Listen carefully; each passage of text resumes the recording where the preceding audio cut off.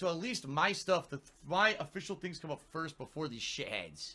So, yeah, these guys with their not even 10,000 views. Stupid shit.